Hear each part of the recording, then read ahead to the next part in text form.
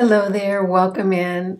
I'm really glad you're here. Today we're going to talk about December favorites and it's going to be a little bit different than my usual favorites. It's sort of going to be a use this, not that, or these are my thoughts, or this is what I found out. I've been testing and trying a lot of products the last couple of months behind the scenes of all the holiday festivities. I have lots of thoughts to share with you today. If you're new here, I'm so glad you stopped by. I'm Kimberly. This is Pretty Over 50, where we talk everything makeup, skincare, and style for the over 50 woman. I hope you'll consider subscribing while you're here and make sure you click that notification bell so you don't miss any of my upcoming videos. I've got lots and lots of opinions to share with you today, and as always, always, all products that I mentioned today will be listed and linked below, so super easy for you to find. And with that, let's hop into it. The first thing I want to talk about is my beloved Sleep and Glow pillow. And I want to thank Sleep and Glow for sponsoring a portion of this video. They have been such a good partner over the past couple of years. One product that I use every single day in my anti-aging routine is my beloved Sleep and Glow pillow. If you're not familiar with the Sleep and Glow pillow, it's going to be really cool for you to find out about. One of the most important things that we can do to keep wrinkles from our face is stop sleeping on it. But for me, I have a really hard time sleeping on my back. There's just something about that yummy comfort of rolling over onto my side that just puts me into that sleep zone and I just drift away into dreamland. But what happens with a normal pillow is when I'm sleeping on my side, my face gets all squished into the pillow and that's not good for keeping away wrinkles. The Sleep and Glow pillow solves that problem and they do it so beautifully. I have been using this pillow, gosh, for over two years now. I absolutely love it. It is such an important part of my beauty routine. The way this pillow is constructed is that it has little cutouts on the sides, and there's one on each side and that allows your face to rest in that cutout area so you're not getting that face smush that you get with a regular pillow. I find this pillow so wonderful to use and I wake up in the morning and my face looks fresh and not all wrinkly. It's a foam pillow that is super, super comfortable. I've had mine, like I said, for two years it still acts like brand new. But I want to tell you one of the benefits of this pillow that I really discovered after I started using it that to me is so important. This pillow is constructed in a raised way, so there's a thicker area here and a thinner area here. So you can select which one to tuck underneath your neck that feels the most comfortable for you.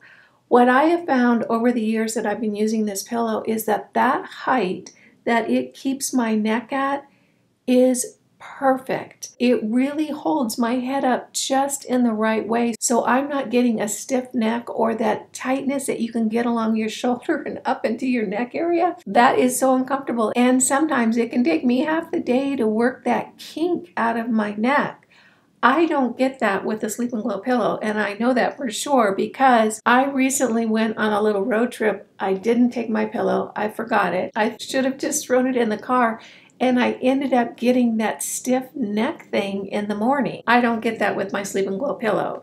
So not only does it really help with the face wrinkles on my face, but it helps with that kind of stiff neck thing you get as well. I can tell you that this is one of my favorite anti-aging products. I use it every single day. Sleep and Glow graciously has always offered a discount code for my viewers. It's listed down below. This has been such a wonderful addition to my anti-aging routine. If you don't have a pillow that works for you like this to help keep the wrinkles off your face while you sleep, you might want to give this a try. I love mine. It's done wonderful things for me. The next thing I want to talk about is the Dior Backstage Face and Body Foundation. I picked this up in the Sephora sale. I used it in a Get Ready With Me a few weeks ago and you know what this is a really good foundation I'm wearing it on my skin today and one thing I can say about this foundation is that it looks really skin like it goes on beautifully not fussy doesn't get patchy doesn't give me that polka dot pores it's really a very beautiful foundation, which is why it's so popular. Of course, my favorite foundation is the Forever Skin Glow from Dior.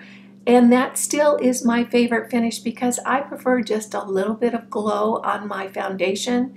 If you prefer a matte foundation or if you think it just works better for your skin tone and skin type, I think this is a great choice. So the Dior Backstage Face and Body Foundation it's a hit with me. The next product I want to talk about is this little face palette from Charlotte Tilbury, and it's actually what I'm wearing on my face today.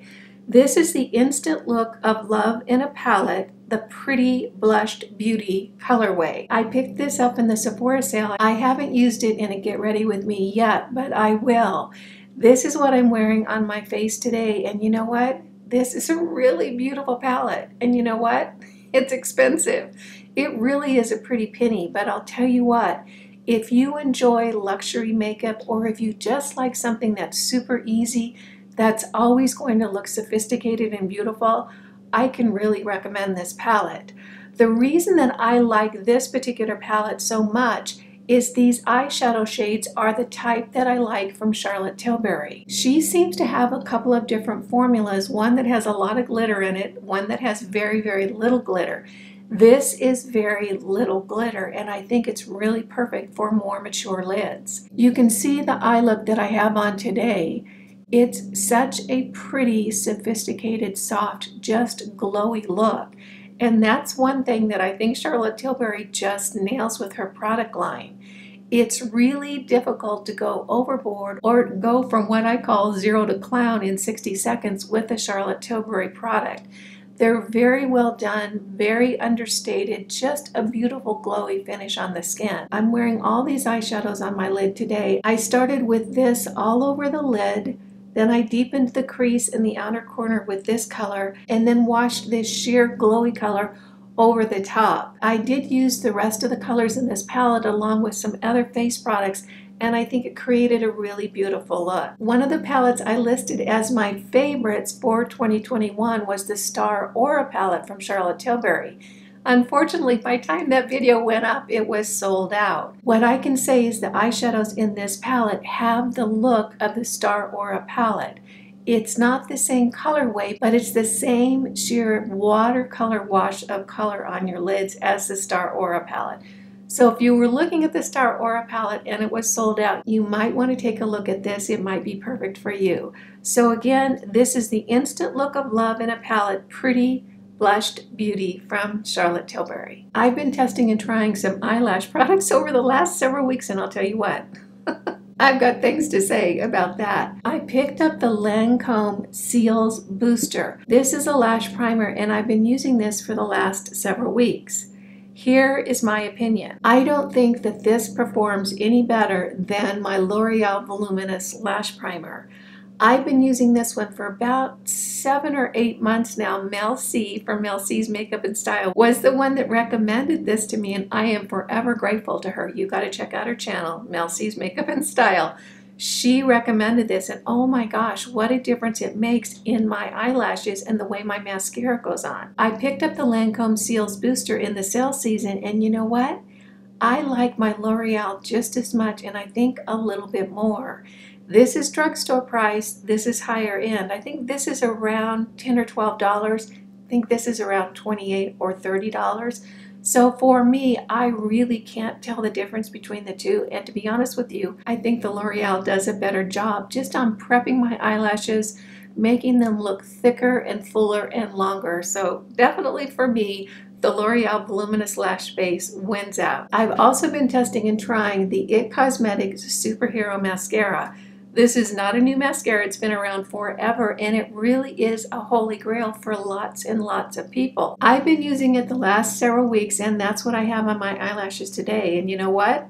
I don't like it nearly as much as my Maybelline Sky High Mascara. I really don't. Although it does provide volume and length, for me, it doesn't do it as well as my Maybelline Sky High Mascara. What I found with the Superhero is that the second coat gets clumpy and it's just harder to put on. I don't seem to have that problem with the Maybelline Sky High Mascara. Between the two of these, and of course the IT Cosmetics is a higher end. I think this is about $26, $27. I can't really remember. The Maybelline is about $10. Between the two, hands down, the Maybelline Sky High Mascara is still my favorite. I do have more high-end mascaras that I picked up during the sales. I'll be testing and trying those over the coming weeks, but so far, my Maybelline Sky High is still the big hit with me. This is the City Beauty Lid Lifting Treatment. this has been a funny journey for me. They sent me this several months ago I tried it a couple of times. I really didn't pay that much attention to it and then I just put it aside. Then I saw a few other people say, oh my gosh, it's made such a difference in the crepiness of my lids. And I thought, okay, I'll give it a whirl. And I pulled it back out. And you know what? I'm hooked on it. It really does, in a very subtle, very gentle way, improve the crepiness and the creases on my eyelids.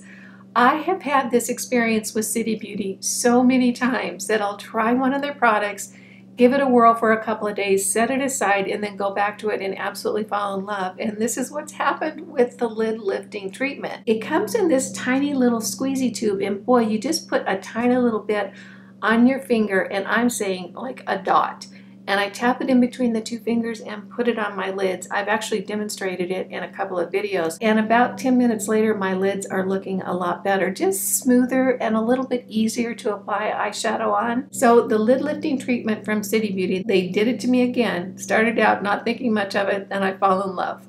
this is the Peter Thomas Roth Water Drench Hyaluronic Cloud Cream Hydrating Moisturizer. I don't know, you guys. I don't get it.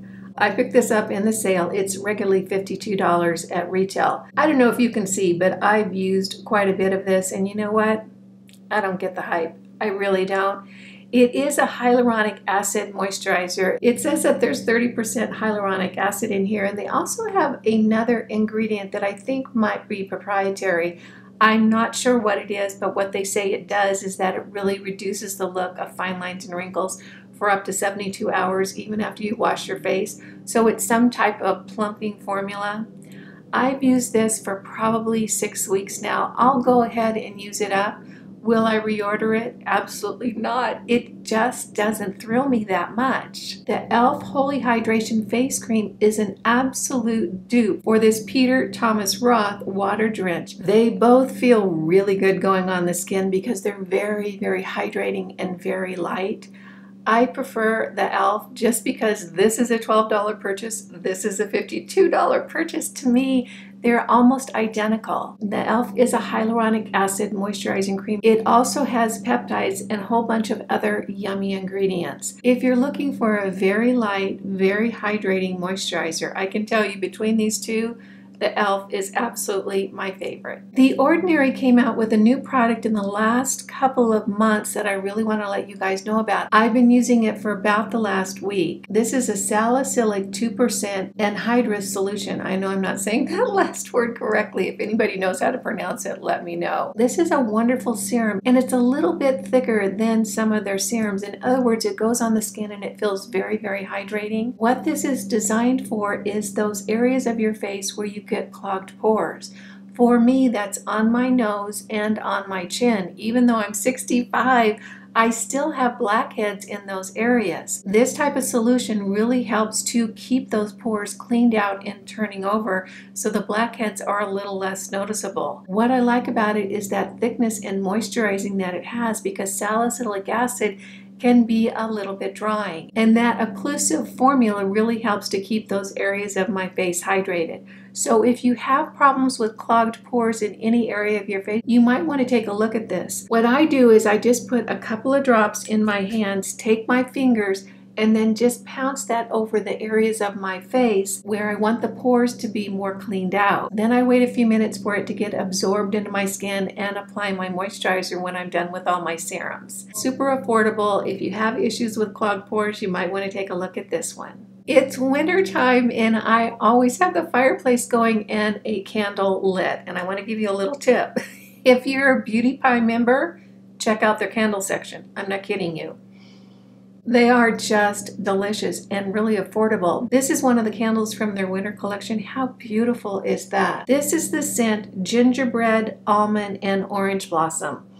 And oh my gosh, so delicious. This is a luxury candle, but with Beauty Pie, you pay a lot less for luxury products. Of course, my mad love from Beauty Pie is this Under Eye Genius Corrector. Absolutely adore this. If you've joined Beauty Pie in order to get this corrector, go on over to the candle section because there's some good stuff there. I got this tiny little sample size of the Grande Lash Lash Serum in one of the gift sets that I bought in the Sephora sale.